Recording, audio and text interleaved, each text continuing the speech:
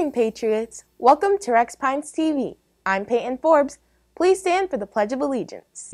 I pledge allegiance to the flag of the United States of America and to the republic for which it stands, one nation, under God, indivisible, with liberty and justice for all. And now for our school mission statement. We the Patriots achieve greatness through high expectations, passion, and perseverance. Thank you. You may now be seated. Today is Thursday, February 11th, 2021. Let's go to Randy for a Black History Spotlight. Today we spotlight eminent scientist George Washington Carver, who developed 300 derivative products from peanuts, among them cheese, milk, coffee, flour, ink, dyes, plastics, wood stains, soap, linoleum, medical oils, and cosmetics. He struggled against discrimination. He was rejected by many schools and universities over the years, but he never gave up and became a Iowa State Agricultural College's first black student. With a master's degree in botany, he successfully worked in plant pathology and mycology. That then gave him the countrywide acclaim and fame as a prominent botanist. Now let's go to Scott for the sports highlights. Thank you, Randy. Today's sports highlights are brought to you by the Patriots. Tom Brady, at 43 years old, is now arguably football's GOAT, the greatest of all time. Tom was joined by Rob Gronkowski, who came out of retirement in time for the NFL Super Bowl last Sunday, and led the Tampa Bay Buccaneers to their first win and Brady's seventh. Brady just left the New England Patriots last March, and in under a year, the Buccaneers defeated the Kansas City Chiefs 31 to 9.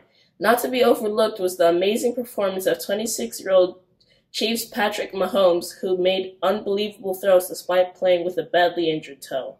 Now let's go to Noah for the lunch report. Thank you, Scott.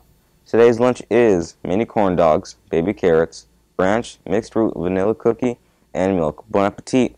Now let's go back to Peyton. Thank you, Noah. Scholars, you still have time to jump into the February i-Ready Challenge. The February i-Ready Challenge is focused on reading only. Pass 30 Reading i-Ready lessons between February 1st and February 26th to join your classmates at the sub party. Remember, only lessons passed between the dates February 1st and February 26th will count towards the challenge. You got this, Patriots! Patriots, we continue celebrating Black History. Today is Who's Your Favorite Black Couple Day. So, Who's your favorite black couple? Feel free to share with te- your teacher or classmate at an appropriate time. Tomorrow, we re- represent the African culture by wearing our favorite African attire. Be sure to tune in every day to find out what fun activity or dress down will be going on during this month. I can't wait to see your awesome attire tomorrow.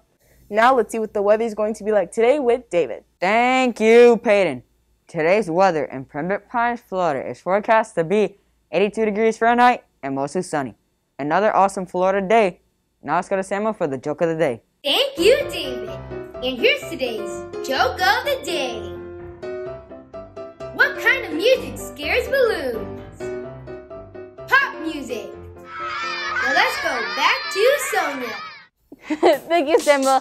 That was too funny. Today's birthday boys and girls are Viviana Yuseke, Ian Ernest, Chanel Bailey, Kayla Benitez, and Kamara Johnson. Happy birthday! Let's get back to Peyton. Thank you, Sonia.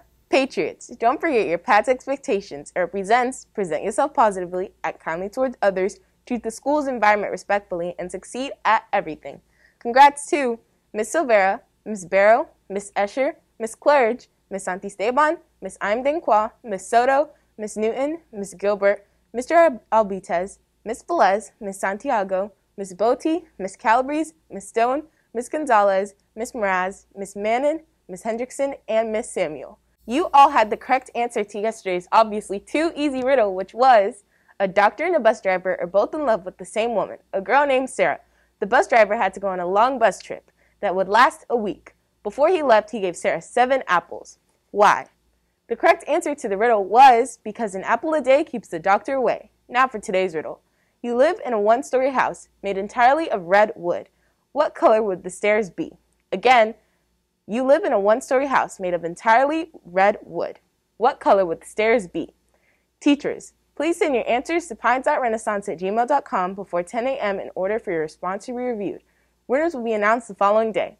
Everyone at RPTV would like to wish you all a thankful Thursday. And don't forget, remember, reunite, rise. Have a great day.